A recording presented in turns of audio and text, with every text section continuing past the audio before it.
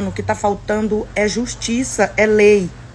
Né? Porque aqui não pode ser terra sem lei. As redes sociais não pode ser terra sem lei. E a gente precisa que esses é, que esses delinquentes paguem, porque não tem outra palavra.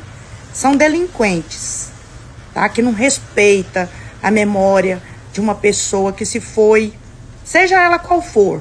Não é porque é minha filha é a Marília, não. Não respeita a memória, não respeita a dor da família, tá? E quero deixar um recadinho para essas pessoas que fizeram isso, tá? Vocês vão lembrar de mim. Vocês vão lembrar de mim. Um certo momento da sua vida, eu não desejo para você a dor que eu passei, não. Mas num certo momento da sua vida, você vai lembrar disso que você fez e vai lembrar de mim, tá? Porque. E para aquelas pessoas que nos amam, aquelas pessoas que me ajudam em oração, aquelas pessoas que estão vendo o legado que ela deixou, aquelas pessoas que me ajudam com o Leozinho, né? Para criá-lo saudável, com o meu filho.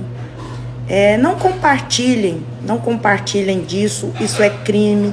Não, não dê ibope para criminoso, porque você vai estar tá cometendo um crime também, tá?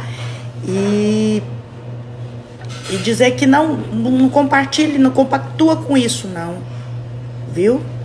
É, tá tudo bem. Aqui, o que a gente planta, a gente colhe.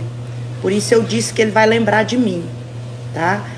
Um determinado tempo da vida dele, ele vai lembrar de mim. E beijo, bom dia para todos.